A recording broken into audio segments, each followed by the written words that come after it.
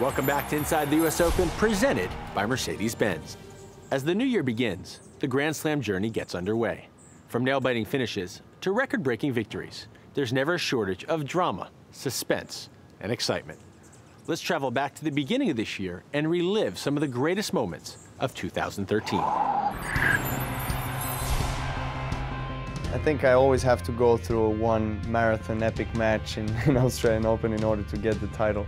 Then in the end, I've managed to perform my best in the later stages of the event when I played uh, against top players like Ferrer and, and Murray and uh, managed to win the, the, the, fourth Australian Open title. It's, uh, it's been by far my most successful uh, Grand Slam tournament and the one that I enjoy very much playing. I think the Australian is just you know, the happy slam and it's so relaxed and it's so different from everywhere else. And so, you know, I think it's definitely um, most players' favourite tournament. I thought the biggest surprise for me this year was Sloane beating Serena. Australian Open was a crazy experience for me and I never expected to do that well or, you know, have all those great things happen, but it's something that just kind of just went with the flow and I was excited to just do well and have so much fun, and I was just hanging out, just living the life, really. It's a tournament really where I had the start of my breakthrough, so it's a tournament that's very important and endearing to me, and it's a tough situation to be in, playing Roger, and uh, everybody knows what he can do. It's about just really, I'm happy that I put myself in those situations to have those opportunities to get better and then try to be better for the next time that happens.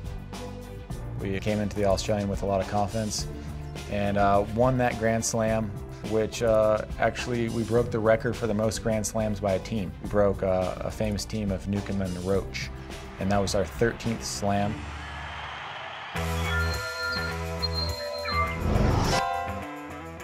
I think the French Open was pretty intense.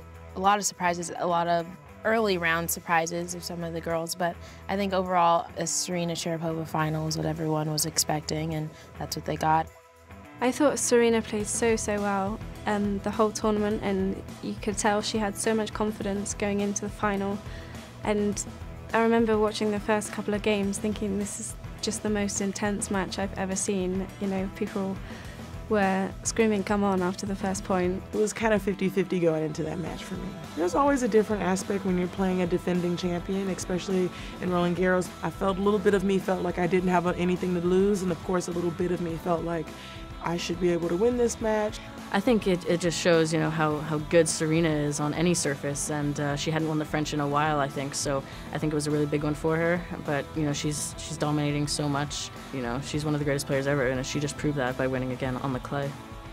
We won the French uh, 10 years after we won our first Grand Slam. It was 2003 is where it kind of all started for us, and to win that again was awesome. At the French Open, I think it wasn't too many upsets or really surprises. Nadal's been so incredibly amazing at the Roland Garros, especially. I'm speechless when I talk about all he can accomplish at Roland Garros, and that's, I think that sums it up. He's just an amazing athlete.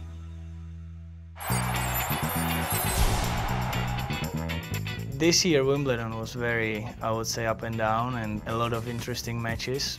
The Wednesday of Wimbledon this year was very, it was crazy, you know, so many was slipping and falling, including me. Yeah, wacky Wimbledon, right? Wacky Wednesday. On the scoreboard, we're just watching all these people pull out of the tournament. We're like, wow, what's going on? I don't know what's going on. It was pretty crazy.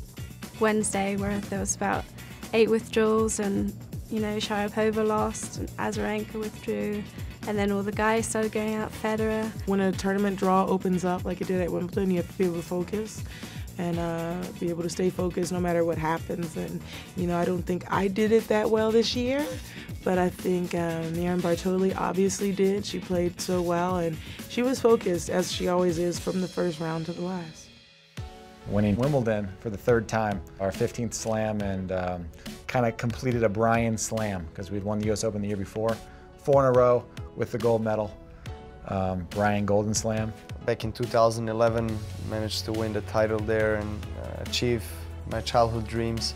This year I played finals. You know, I was very glad to be in the finals once again, and uh, there I lost to uh, to a better player. Uh, no question about it. I congratulated him because he just uh, came up with uh, with an A game when he needed to, and um, it was a historical win for him and for, for all the country.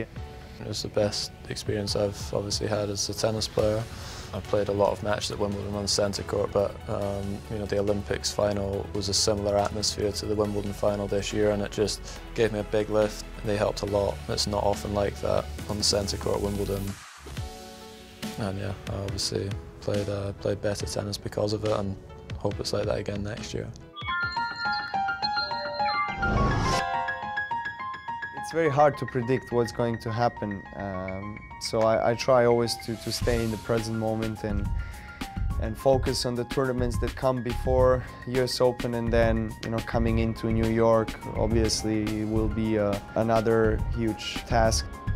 My approach, I think, is, is like every year. I just want to take one match at a time and, you know, try and progress into the tournament like that. But at the same time, you know, it's a tournament that I just love to play and I feel very comfortable. So hopefully, you know, I can do really well this year.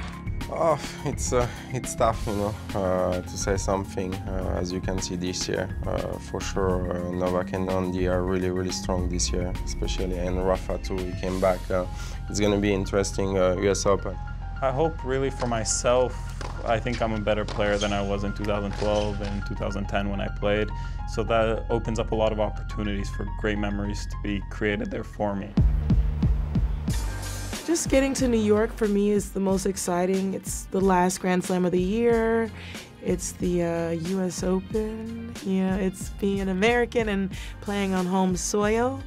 I just want to go there and try my best. Of course, sometimes can happen, sometimes no, you win, you lose, this is tennis, but uh, if you go on the court and you try to, to make your best, it's uh, the most important thing.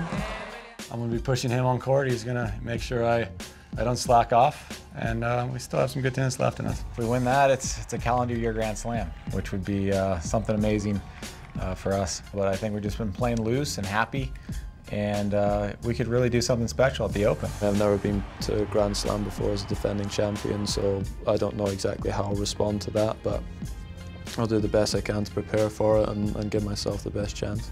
I'm gonna enjoy watching Roger. I'm his biggest fan. I love watching him, and uh, you know, I think I still think he has another slam in him. So I'm hoping it's at this year's U.S. Open. Coming up, I'll chat with some of America's budding stars and explore if they have what it takes to handle the intensity of the spotlight.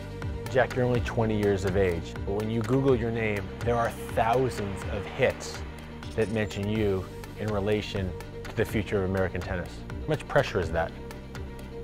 Yeah, I mean, it's, uh, it's brought up, I think, a good amount, um, not only for me, but a lot of the younger uh, American guys as well, and working to do, is, do the best we can towards bringing a bunch of Americans back towards the top, and so Uh, I think we're all working to do that, and, and, and I think we can.